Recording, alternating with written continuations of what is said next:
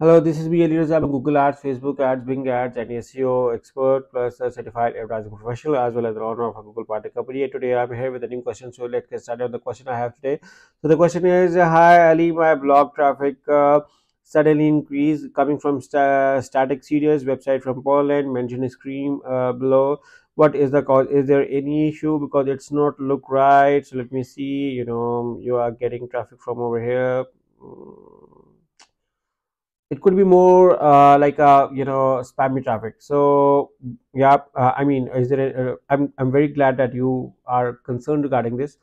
So what you have to do is to understand the pattern. If it's a single once you can ignore it. But in case if you're having a pattern of repeated traffic coming from there it can you know impact your website uh, bounce rate and visitor time duration which is why i gonna recommend you to change your robots.txt file and uh, simply block this website unless and until you know sometimes what people have done is you know in case if you have installed a traffic counter by Seedrs, you know it could be a reason, or even in case if you have added your website in Seedrs, it could be a Seedrs. I don't know even what the Seedrs dot website is about, but you know uh, it could be uh, like uh, they may re- uh, referring your traffic. So also analyze the traffic you are getting from over there it may be you know they are recommending you somewhere on their website and that is being shown over there.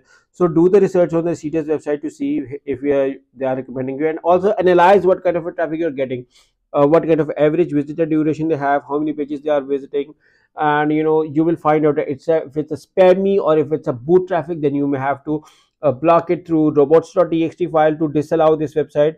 Or in case if it's a good traffic so then you may like it. So yeah that is a very uh, good concern that you have raised on.